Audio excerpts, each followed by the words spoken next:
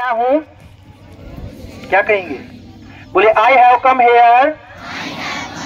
I have come here for the sake of money I have come here for the sake of money तुम पैसे की खातिर झूठ बोलते हो। बोले you lie you lie for the sake of money you lie for the sake of money मेरे खातिर क्या कर सकते हो?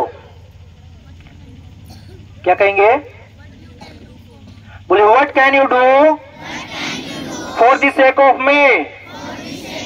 what can you do for the sake of me what can you do for the sake of me